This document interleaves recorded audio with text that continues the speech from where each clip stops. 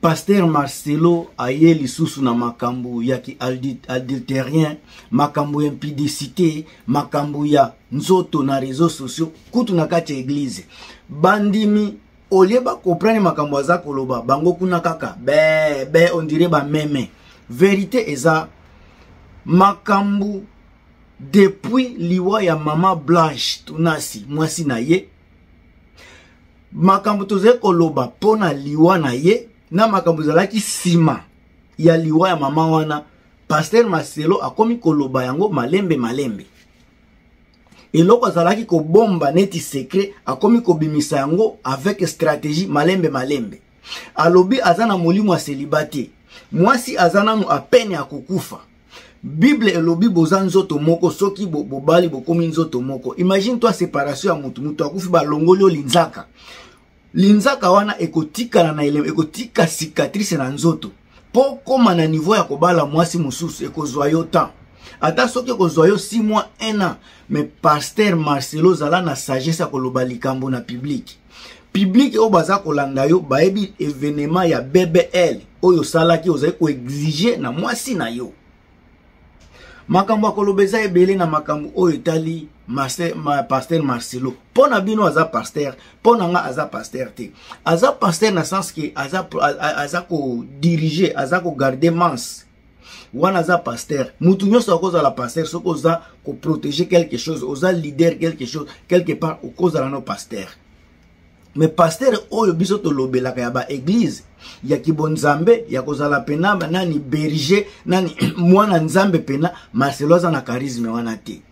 aza ya nzambe aza ya nzambe te c'est un monsieur oyo asali vie na ye na ndenge ya koescroke bato na nsima na kombo na nsima ya kombo ya, ya, ya, ya jésus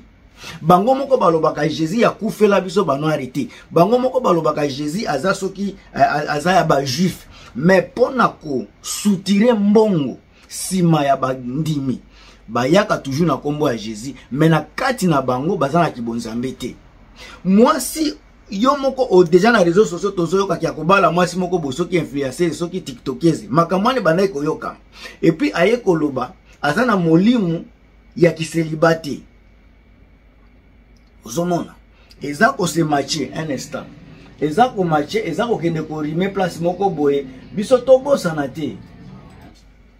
tobosana te ke baverite oyo ye aza kobomba biso deja toyebela yango toyeba yango cause ya liwa ya mwasi na ye ya, ya, ya, ya blash tuna ya blash wana eza cause kaka ya makambo ya bbl avant nakota na makambo mosusu paster maselu fo amitala entre ye na mwasi na ye blash otika biso qui avait besoin de bbl qui avait besoin de bbl soki totali mpenza pastelo tunasi wana estce aza na nzoto ya koatire mpena mwasi mais soki elle aza koexige mwasi asala makambo oyo ekomema ye na liwa et ce n'était pas parce que mwasi wana azalaki mabe c'est parce que azalaki déjà un infidèle un, un infidèle azalaki un adultéré azali déjà kobima libanda sika mpo na kobengana mwasi ezalaki mpasi ekomaki déjà mpasi parce que aza pasteur ifalaki kosala ye makambo oyo ekosalaki ekolimwise na monde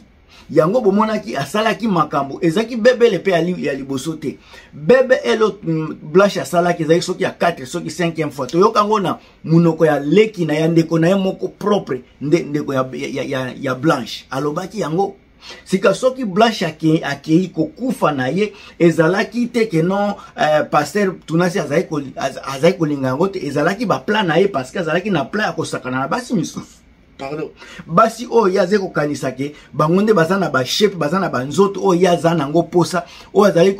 koforce ko, uh, mwasi na ye akende kosala biloko wana parceke ye moko azali komona ke soki abimi abanda kosala makambo wana ekopesa bien te mpo na publike epe aza pastere mais alors mpo na kolakisa mwasi na ye ke mwasi na ye aza bien te aza kitoko te banzoto na ye eza bien te il faut alekisa ye na ba na baopération bakende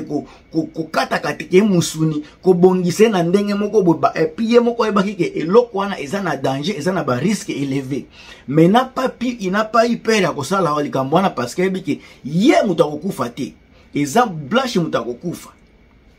lelo makambo aza koloba pena a public azobosana ke il faut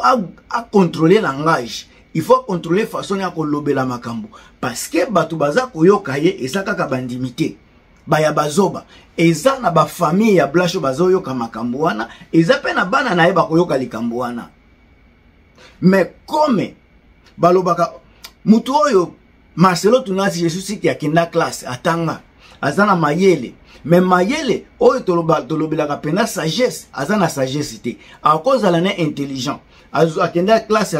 aza na intelligence na kozwa na bapoint bamarke na classe me kozala na intelligence divine kozala na sagesse eloko wana mpena ezangi na vie ya marcelo mutu mobimba kokufela eza mpasi me soki ezalaki kokufela mpena okanaki te ozalaki na posa yake mwasi akufa te me esali ke destine ya nzambe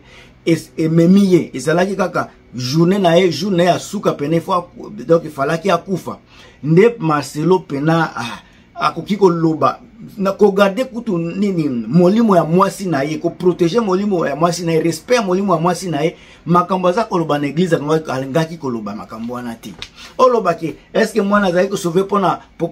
mpona eh, soki mpona blanche estce je resi je te sauve makambo ya boye balangage wana okoki kotenir yango te motu nyonso oyebi ke ozalaki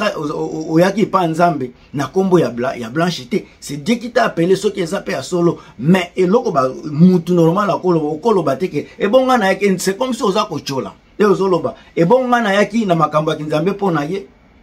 eske ngai naza na molimo ya seliba donk ozolakisa deja ke ocubaka pembeni ozolinga nde olakisa ke no sika obimisa yango publike oza na molimo ya seliba te okota sika na ndenge ya kobala mai na ndenge oyo oza kolobela se comme si oza moyibi oza kocuba deja bato baza motu ya mayele ayebi ke no depuis ke mwasi nayo akenda obimaka na yo libanda depuis mwasi na yo akenda akufa olalaka na yo deja basi misusu ah, message oza komemela biso yango wana il faut ezala bato oyo baza na eglize na yo il faut ezala bato oyo baadepte na yo oyo bazalaka toujours amen na likambo nyonso bango likambo nyonso koloba il faut kaka amen amen amen me baza na esprit ya kososola mpe makambo te baza na esprit ya discernement te baza na esprit ya kotala mpena makambo na mosika te nde bato oyo bino sika bokanga na baeglize na bino yango bakoma bozalaka na difficulté ya kosan sortir parce que les gens qui vous entoure baza mayele te baza kaka bato ya wi wi wi wi wi entourage ya bapaster nyonso bozomona wana eza na baentourage kaka ya baaventurien baaventurie motu ya solo mpenaki bonzambe aza te bozwi motu lokola joel tatu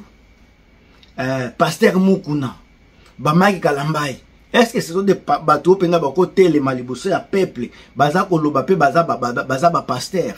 na pays oyo mpenza bato baza ya komiresi ya komipesa respect est ce que motu lokola mike kalambai akoki koya kotelema alobi mpe ke non alobi mpe asilisi ke non ngai naza, naza soki pasteur naza mosali na nzambe ce n'est pas, ce n'est pas possible